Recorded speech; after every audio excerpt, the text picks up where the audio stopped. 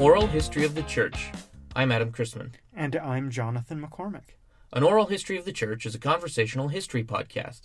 This first volume is an oral history of the campus relocation of Golden Gate Baptist Theological Seminary's main campus from Mill Valley, California to Ontario, California.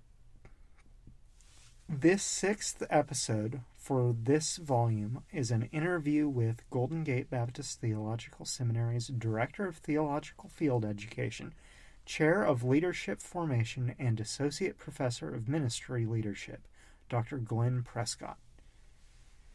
I really liked our talk with Dr. Prescott. Um, I'm slightly biased because he was my professor for theological field education, and then he was one of my pastors at the church where I've been a member now for some years. I was real excited when he talked to us about uh, his interest to sit down and chat. And when we finally got to do it, I had a really good time. Yeah, Dr. Glenn Prescott has been the administrative pastor at Tiburon Baptist Church for a number of years. Yeah, up until this last fall, I believe. Maybe last mm-hmm. spring, I forget. I've really appreciated Dr. Prescott's um, ministry and leadership uh, here in the, the Bay Area. Mm-hmm. Uh, he's been a gracious leader at our church, uh, very effective in caring for, for people and has been helpful in connecting with other other churches and helping them do ministry well. Um, he's a he's got a great model. Yeah, and he's um, he hasn't had it easy. Uh, he has had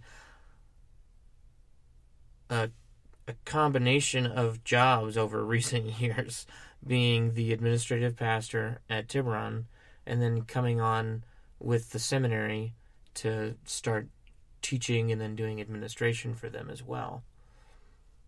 Uh, it's a pretty significant little uh, interaction of all these different responsibilities he's had for so long.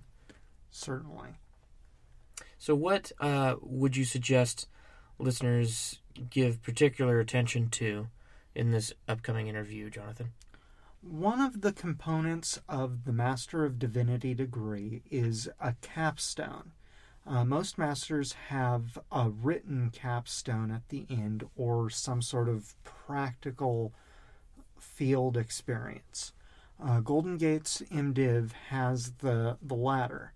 And it was interesting to hear a bit of the history of how ours developed and the relationship between Golden Gate's TFE and other TFE programs in other uh, seminaries around the country. Uh, I really appreciated hearing about uh, Dr. Doran McCarty's uh, leadership um, and the framework that he's provided. Yeah, and for for me, I thought it was real interesting to get his perspective on the relationship between the seminary here at, at this location and our neighbors in the community. Um, we're getting so many perspectives that, as we mentioned in previous episodes, have some core similarities with uh, unique elements in each perspective. So we, we get some more of that with Dr. Prescott's interview here. On that note, let's take a moment and listen to Dr. Glenn Prescott. This is Jonathan McCormick and Adam Christman interviewing uh, Dr. Glenn Prescott on uh, March 15th, 2016, in his office in the academic building at 201, at 201 Seminary Drive, Mill Valley, California. Uh, Dr. Prescott, uh, when did you first hear of uh, Golden Gate Seminary? Uh, having grown up uh, in a Southern Baptist Church, it's probably hard for me to put a time on that, but I rem- recall specifically learning about Golden Gate when one of the um, Golden Gate staff members made a visit to my university when I was a college student at Eastern New Mexico uh, University in Portales. I'm I remember you said before that uh, you're you've you're just about born into Baptist life. That your mother came to Christ through the Million More in FiftyFour campaign. Well, they were they were already believers and already a part of a church, uh, but in uh, uh, the, the, Million More in '54 that uh, Southern Baptist Convention uh, adopted uh, was successful, and so they carried it on into 1955. And in April of '55, um, the preschool director from our church knocked on our door. Uh, my mom was seven months pregnant with me, and uh, that day I got enrolled in Sunday school. Uh, wasn't born for a couple more months, but uh, got got enrolled a couple months before. Where did you go to college again? College was at Eastern New Mexico University in Portales. Okay. Uh, how did you first come to uh, to have a connection with Golden Gate? Well, during uh, during that particular visit, the the um, uh, the visit was was a recruiting trip by this particular staff member uh, here at the seminary, uh, and I told him I said my plan was to always go to Fort Worth and go to Southwestern, and he uh, he acknowledged that and said that uh, that would be a good choice. He said he was a Southwestern graduate. Um, but uh, I said, I'm just here to talk with you about seminary in general. So we would talk in general terms about seminary life and, and what seminary education was about, uh, but uh, never never dreaming that uh, we'd make a decision to come to Golden Gate instead.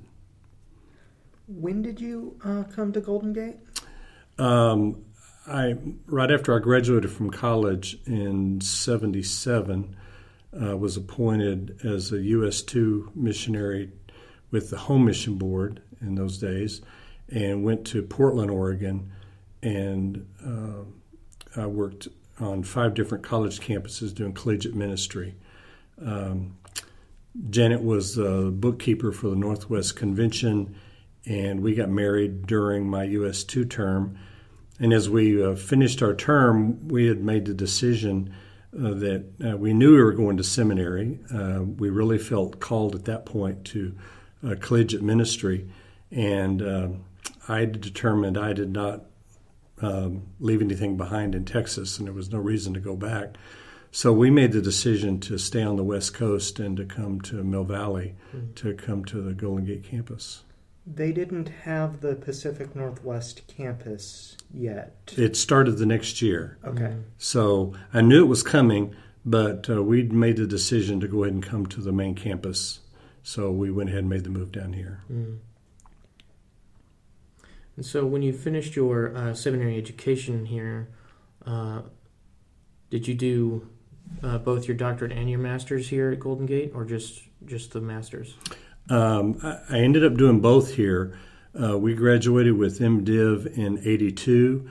Um, we uh, we uh, uh left here and uh, did a 13 month uh, staff position in San Diego, mm-hmm. Um, and then then returned back to the Northwest to the University of Washington, where I became the college minister there.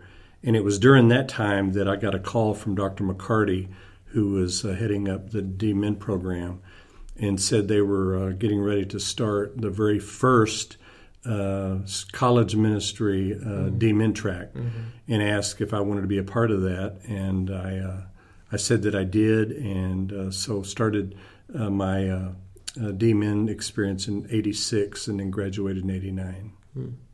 Very good.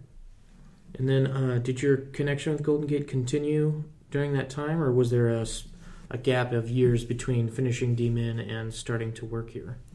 Uh, there was a there was a gap. Um, by the time I graduated in '89, we had left the Northwest and moved to the uh, Foreign Mission Board, later to become International Mission Board. And uh, during my International Mission Board days, um, I worked with uh, International Service Corps, Journeyman, and Masters programs, and ended up uh, doing recruiting for all of those in a variety of places. And uh, those recruiting trips uh, allowed me to visit all six of the Southern Baptist seminaries. And uh, so I had uh, frequent opportunities to come back and be a part mm-hmm. of, uh, of Golden Gate, uh, mm-hmm. even during those days. Mm-hmm. So when did you um, when did you come back to, to begin work here? Okay.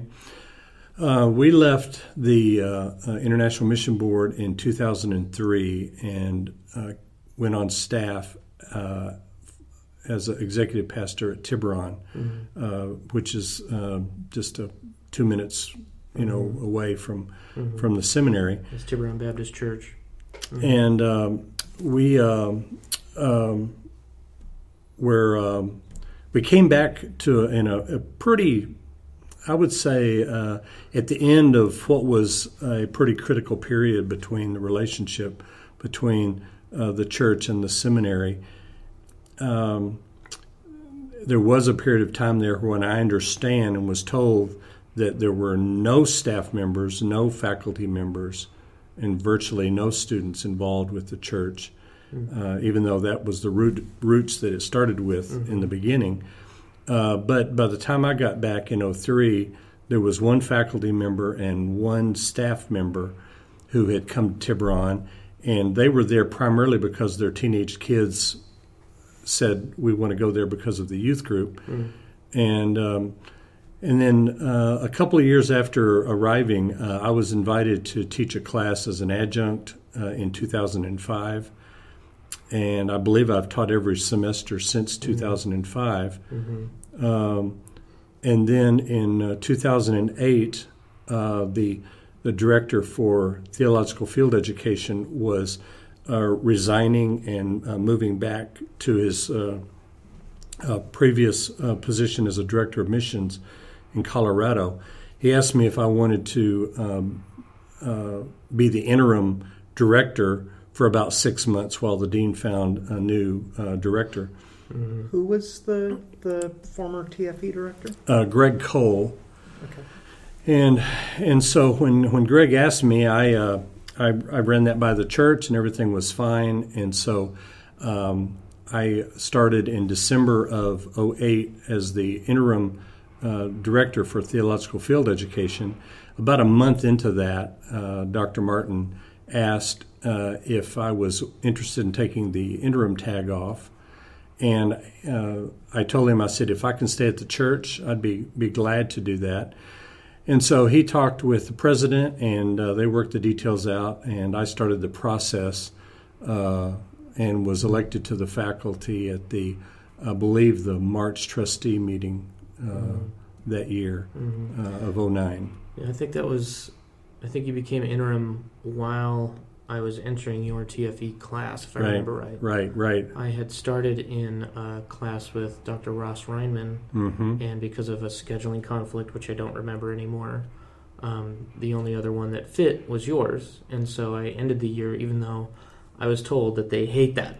they yeah, right. Exactly, exactly. Uh, and I understand. We, we do. You know, um, and I ran across I, ran across that picture because we ended the year with a picnic down at the Greenfield. That's right. and I ran across that picture uh, a couple of weeks ago. So, oh yeah. so interesting. And you were the only trustee elected faculty member serving part time. Is that correct? As far as I know, um, that that continued, and as, as I directed this, the the the, the halftime part uh, when I first started, I did not have a teaching load. Okay. Now, typically, I always did teach a section of TFE, but I didn't have to, and so that was uh, con- considered extra. Um, and then uh, probably um, that was in 09. Probably two or three years after that, um, uh, Dr. McCoy came to me. He was getting ready for a half sabbatical and asked me if I would be the interim department director while he was mm-hmm. on sabbatical. And so I said I would and met with the dean, and, and, and, and, and Dr. Martin got me up to speed on what would be required there. But right before Dr. McCoy left, he uh, announced that when he came back, he was not going to resume his duties as the department director. And so it was during that uh, six months that uh, the dean asked me, said, uh, asked if I would be interested in continuing my role as the department uh, chairman, and uh, and I told him that I would. And at that point, I found out that they had not had a part-time faculty member chair department before either. So a couple of firsts. That's pretty cool. So in your current role, you're still in both of those roles. Is that I'm, right? I'm still in both of those roles. Except you're now full time. Is that correct? Uh, I went on full time uh, May 31st of uh, 2015. I, uh, I, resigned from my church and uh, started full time on June 1, and uh, now have a half time teaching load mm-hmm. added to my directing the TFE program. Mm-hmm. Well, one of my favorite questions that we've been asking so far is the next one. What are some of your favorite memories of studying or working or both at uh, Golden Gate Seminary at this location? Okay. I imagine over the years, especially since you started being uh, with your IMB work and then with your um, being more actively involved with the seminary administration side, you've had a chance to visit all of the other campuses. Is mm-hmm. that right of mm-hmm. this school? Mm-hmm. So for this campus, this Mill Valley campus, okay, what are some of your favorite memories of either studying or working or both? Okay, um, I think from uh, my days as a student, um, I, I think we read the catalogs and we have an idea of what we think we want, and it's really not until we get here and get into classes and and really kind of get a feel for things. Do we really understand what we need rather than what we want? And so uh, I registered as a religious education student because in the catalog it said if you're going into college ministry in those days, it recommended the religious education degree, which would be, uh, I think, equivalent of our uh, educational leadership degree today. Mm-hmm. And so I started out in that. I, I only stayed in that uh, um, degree for uh, one semester mm-hmm. because before the semester was over, it was apparent to me that I needed to take Hebrew and Greek and, and theology and everything else that uh, was going to be required of, uh, of a pastor or anybody else, even in college ministry. Mm-hmm. So um, I, uh, I ended up most of my electives ended up being religious education electives just because I was already in those classes, and when I switched over, yeah. um, I already had them, so they that's the only place they would fit. Um, I think uh, I think I, I look back and I think of the faculty and the, and the uh, the folks that were in place when I was a student, and and really uh, appreciate the those years of relationship with students and faculty. Um, I think Dr. Bill Hendricks probably played the biggest uh, part in my uh, uh, life as a uh, from uh, when I was at the master's level. Um, that would switch over to Dr. McCarty during my doctoral level, and that and my relationship with Dr. McCarty then would continue on, and that was part of my unbroken. Even though he was no longer at the seminary, mm-hmm um, after after I finished my uh, uh, DMin uh, degree, uh, I continued on uh, leading the um, uh, supervision training that our our DMin and TFE programs are all built upon. I continued to be a part of that training with the Home Mission Board, then later, when I was at the IMB, um, traveled around the world doing that providing that supervision training for our missionaries worldwide. Mm-hmm. Um, so those were that. That's kind of one string of of of, uh, of things that really uh, stick out as as being really uh, made this time special and and uh, um, really really made this a memorable experience in every way. Mm-hmm. I, I think. Um, the uh, the other portion of uh,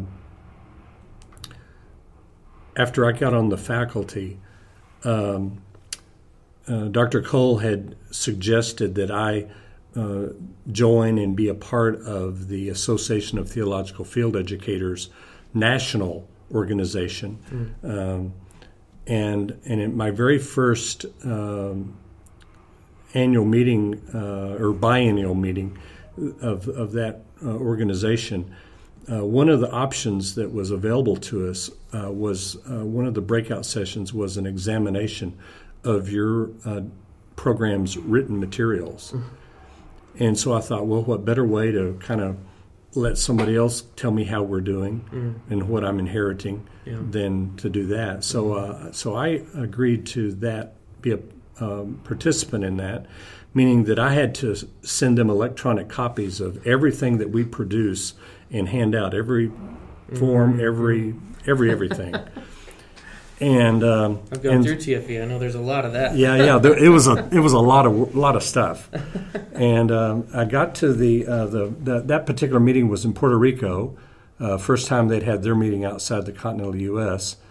And um, and so I was at a a a reception, kind of a fellowship time, right before going into that uh, uh, workshop, and one of the uh, guys who was on the panel uh, uh, leading that saw my name tag and uh, introduced himself and said, "Hey, we're looking forward to you being in the conference." And uh, so he said, "Tell me a little bit about Golden Gate." And so I sat down with him, and and there were three of us sitting at the table. Only two of us were having the conversation, but it wasn't necessarily private, so we weren't, you know, we were just was talking. And so I told him a little bit about uh, Golden Gate uh, Seminary and, and, and really a, a lot about Dr. McCarty. Uh, I asked him if he knew Doran McCarty, and he said, No, I don't. Uh, I haven't ever met him. And he, um, uh, uh, he asked me a little bit more to, to share, and I said, Well, I said, I would describe him as the godfather of uh, TFE at, at Golden Gate Seminary and uh, and told him why I felt that way because you know his fingerprints are on everything we have and do still to this day, and so he uh, he uh, thanked me for the conversation and said I'll see you at the workshop and he got up and walked away. The third guy at the table scooted over to his chair, and I looked down at his name tag and it was the TFE guy from Harvard Wow. and um, and so uh, he said he said you need to know. He kind of pointed at me at, at that point. He said you need to know that Dr. McCarty is the godfather of TFE uh, for all of us. He said we've all ridden on his coattail and, and leadership and things that he has done through the years, and uh, and so he said uh, he said you guys you guys have good you came from good DNA and Yeah. and uh, have, have have good roots, and so uh, just just know that that's true. So a couple of years after that, um, one of the there's a I don't even know the name of the organization, but it's on the college uh, Baptist college level. Okay. They were having uh, their annual meeting, and one of the people they were honoring was Dr. McCarty. Mm. Well, I, I'm on that mailing list, and so they said if you have any anecdotes or anything you want to share, we'll be glad to uh, uh, share that. Uh, and so just send it to me. So I sent him that story, and they used that as the intro to uh, that evening when he was uh, uh, honored at this particular uh, gathering. So uh, it's, it's, it's it's been a pretty cool relationship. That's really awesome. What is your most prized achievement um, that you earned while you were here at this campus? Prized achievement. You can take that however you want. Yeah, yeah, yeah. I, I- I think I, I've, I, that's really an easy question for me because um, uh, in the old days, when uh, it was the first day of class, uh, the director of TFE would come around to each classroom with a stack of notebooks. Each notebook was about three inches thick, the big giant ring binders, and we would hand every student their notebook, and it had all of the forms that they had to fill out for the whole year. Yeah. Okay.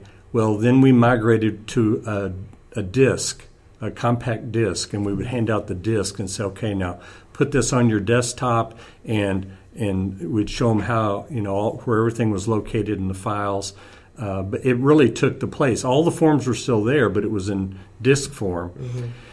So when I came on as the director for TFE, uh, it was my dream that we would have a system by which uh, a, a mentor would simply log on, uh, fill out the report, hit submit, and be done.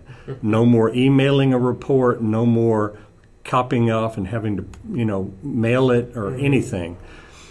So uh, for about a two, nearly a two and a half to three year period, I was just in search of that. Uh, really, it was more like the Holy Grail because I wasn't I wasn't really finding much out there. But uh, uh, I guess it was about uh, it'll be about three years ago this May. Um, the very uh, at the end of the year we have conference evaluation every student comes into my office with all of their mentors and the professor and we have that final hour long conference evaluation mm-hmm. um, the very first one of those about three years ago uh, I found out that that particular student was by night was a seminary student, but by day he was a programmer in Silicon Valley, mm. and and worked down you know in the and been in the computer world for many years. And so when I found that out, I asked him. I said, "Hey, can we talk after our your conference?" And he said, "Yeah." And so uh, I pulled him aside, told him what I said. You've just finished TFE. You've filled out all these reports you know exactly what I'm looking for. I said, Here's my dream. And I shared with him the, the trying to get this online and get it into that format. And so he asked me uh, several questions, and over the next two or three days, we emailed back and forth. And then about three days, four days later, I get an email from him and say, I think I found a company that will work with you. Mm-hmm. Now, fortunately, I had told him how much budget we had. Mm-hmm. And I told him, I said, I've got $2,500 that I can use up until the end of July. And then on August 1st, I get two, 2000 more.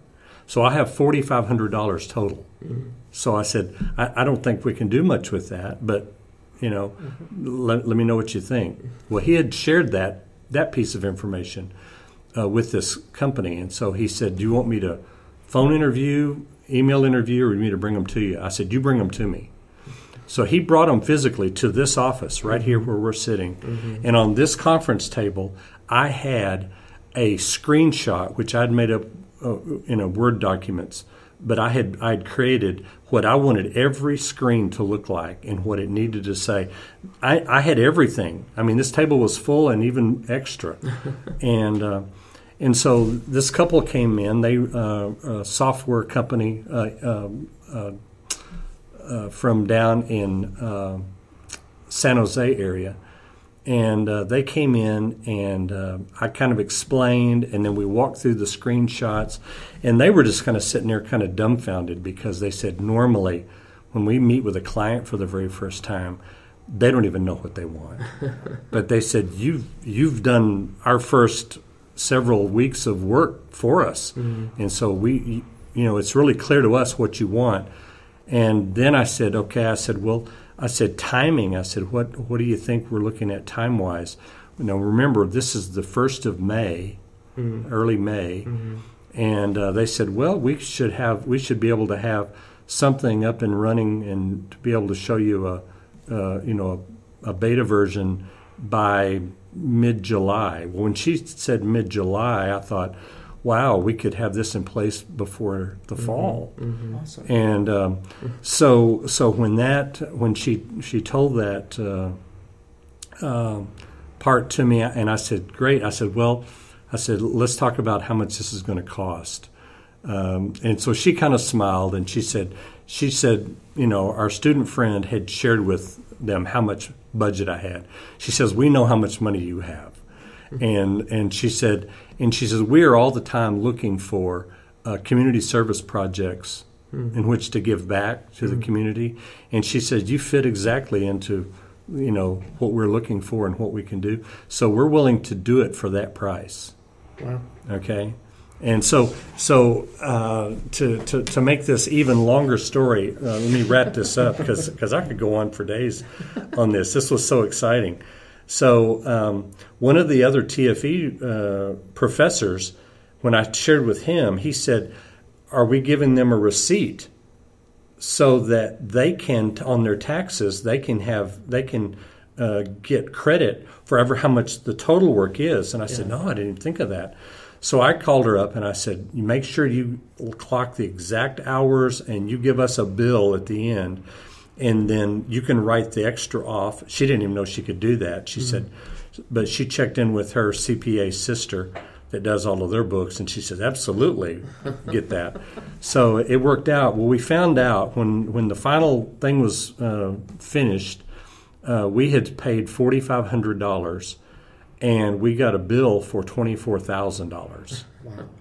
And uh, and I, every day I think about the fact that God was really good, uh, put us in the with the right people at the right time, and uh, mm-hmm. so it was it was really.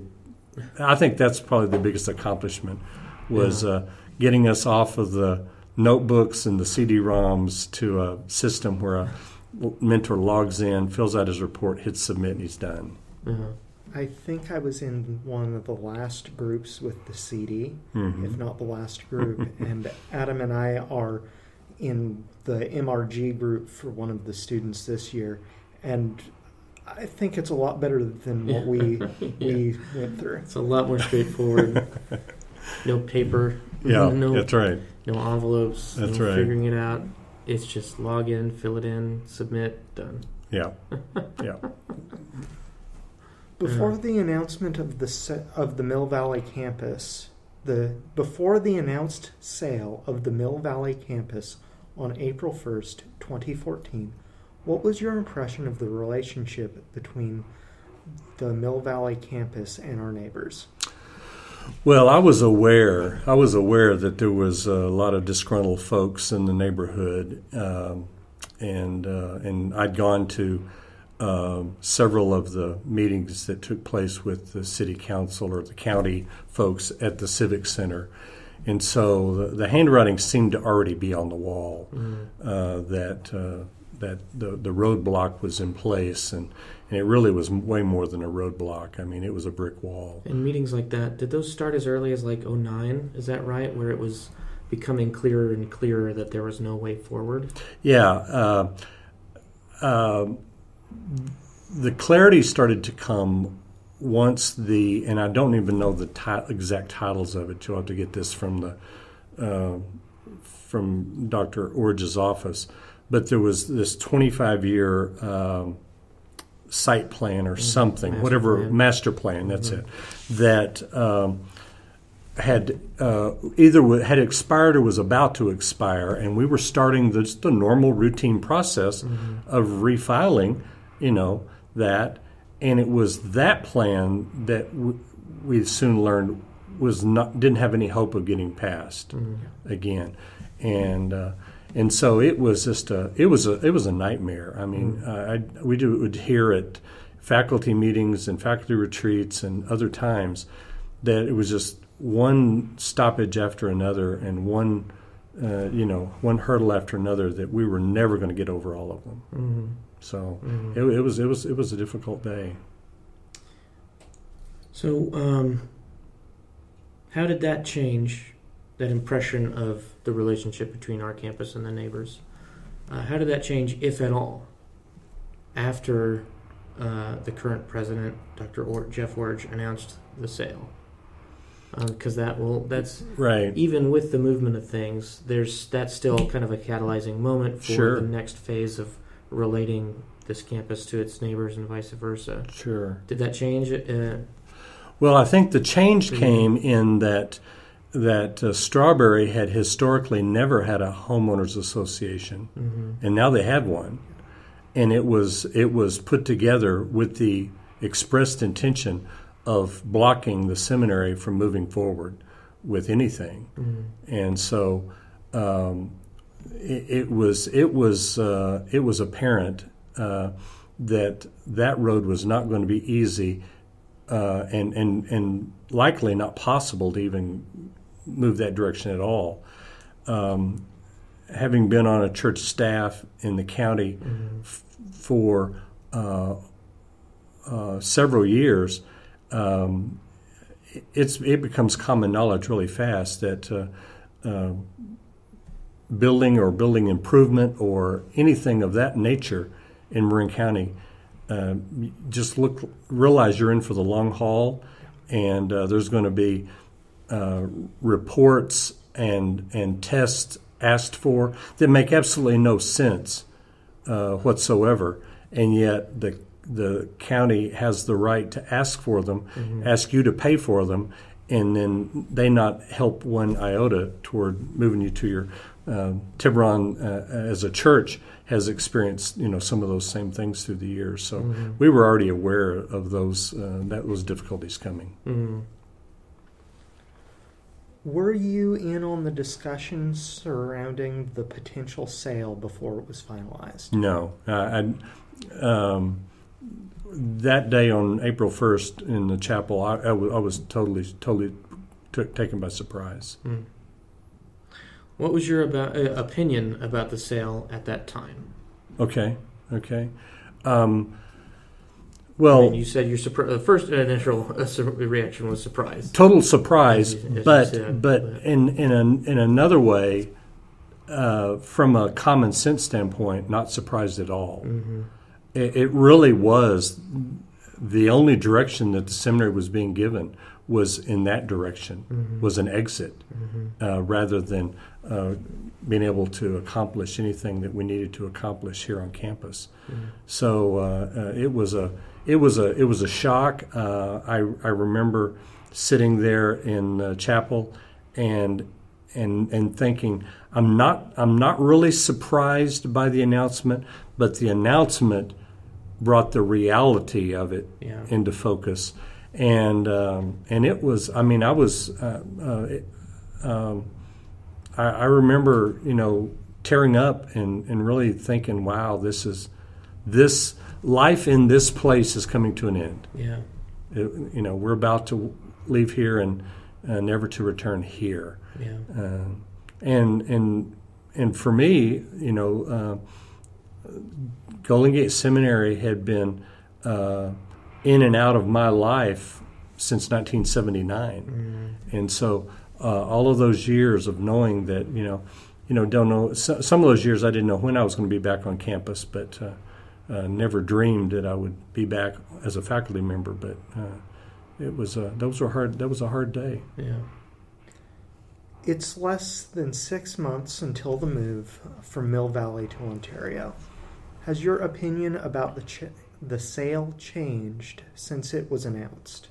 No, my my position and feelings about it haven't changed at all.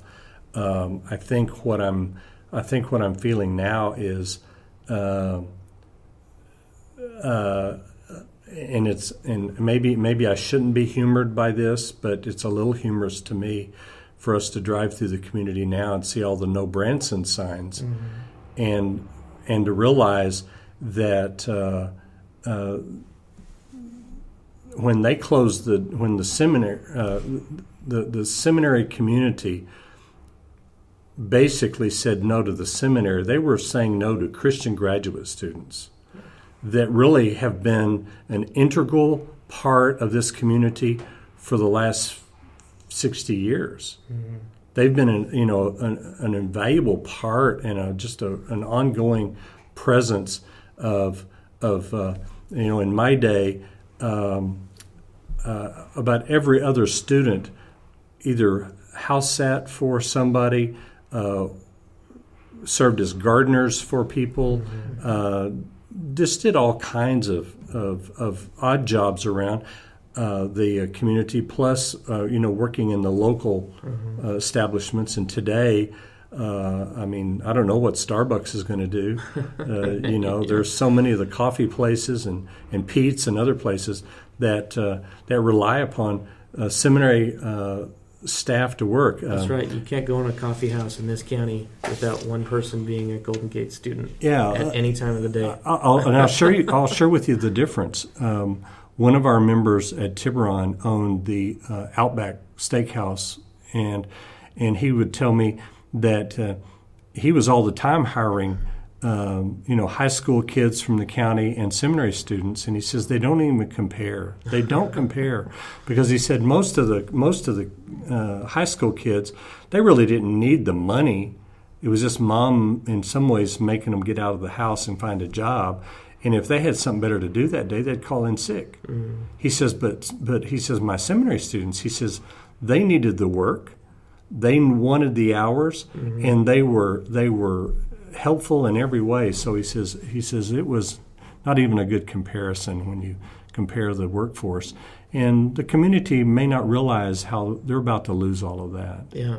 And they're going to trade those Christian graduate students for entitled high school kids, you know, Or junior high kids, depending on how. or junior high, depends on, yeah, exactly. You mentioned the no Branson signs. Can you, from what you know of it, uh, can you explain that for our listeners who maybe don't live nearby, don't know Okay. uh, what that signifies? Yeah. Um, uh,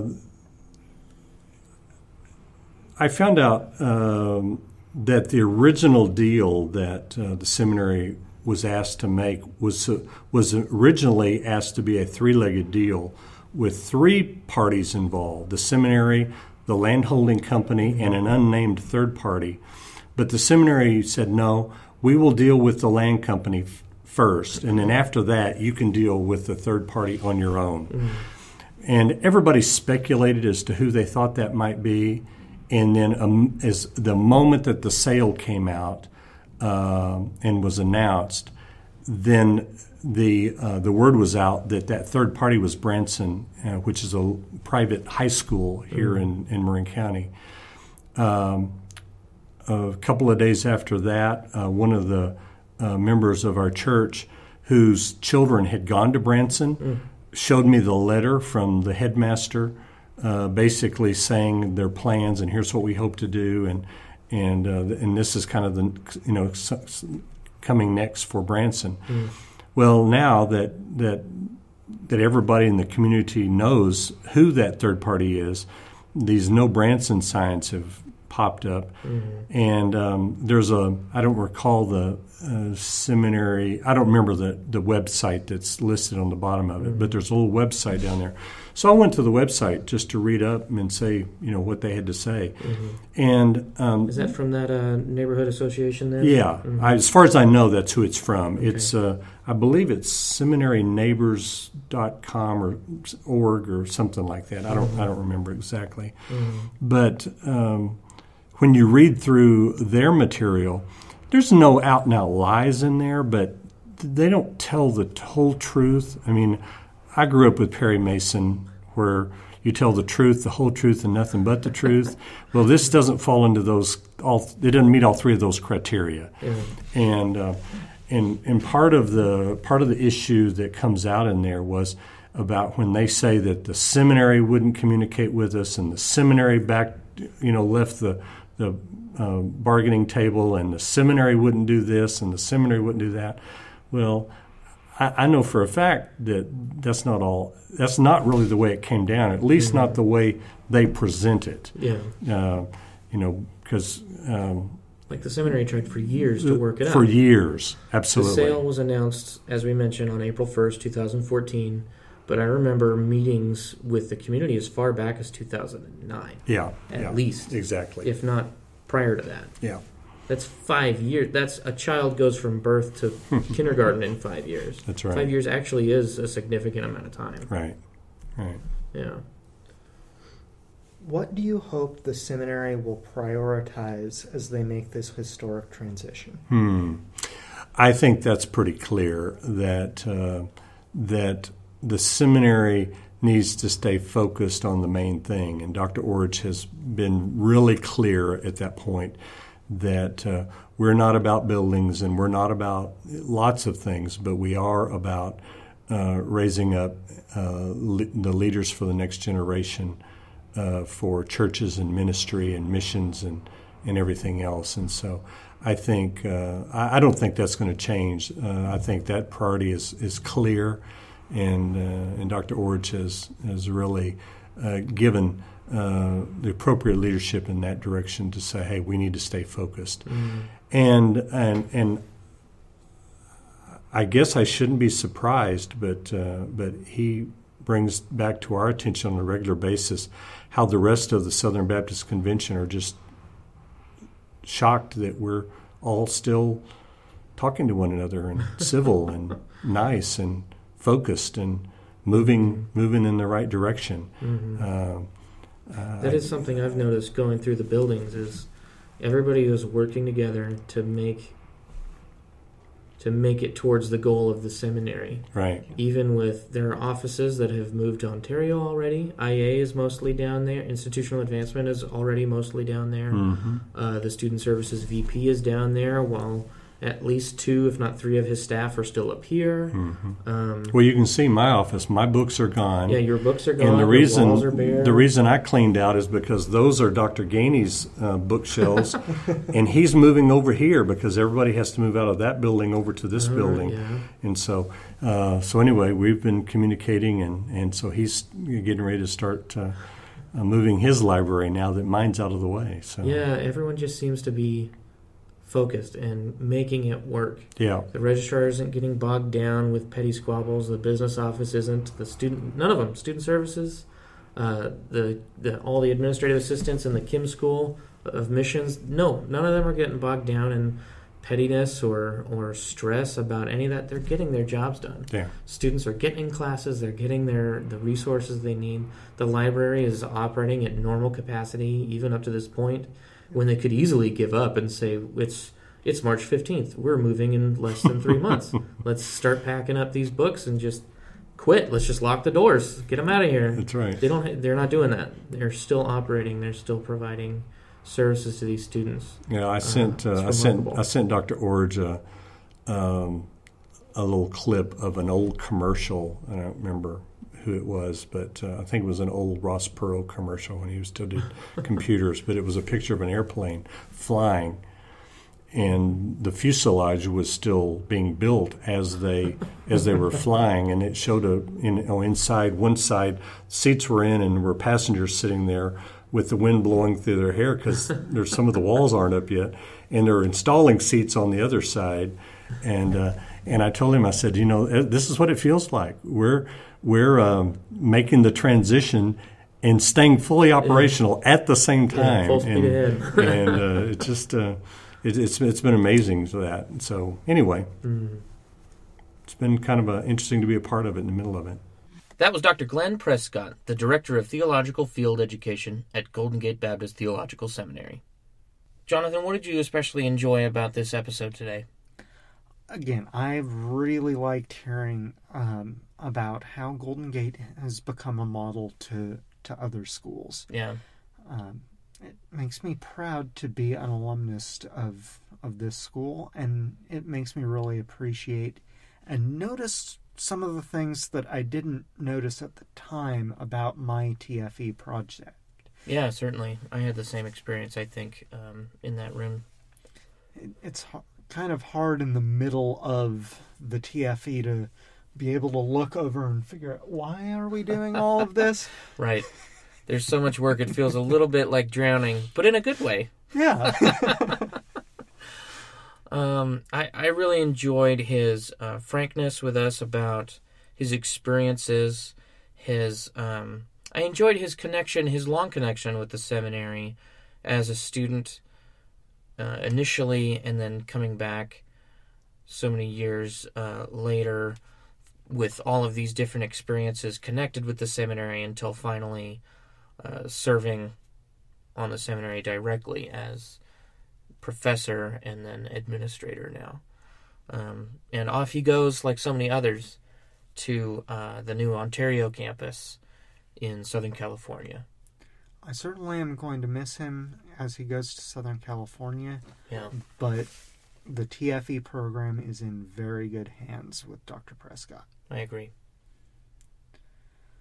The next episode will be with Dr. and Mrs. Kent and Katie Philpott, ministers at Miller Avenue Baptist Church in Mill Valley, California. Just as a reminder, episodes release every two weeks with a new interview right here on iTunes, YouTube, or your personal favorite podcasting app, whether it's a Windows phone or not. Episode 7 with Kent and Katie Philpott will be available June 24th. I still like Windows OS. Please uh, subscribe so you don't miss an episode. Um, and rate and review. This way, other people can know that this is a podcast worth listening to. If you don't think it's worth listening to, go listen to something else. In fact, you may already have. Without anything else to add for this episode, we're going to go ahead and close. May God bless you as you go. He's already gone before.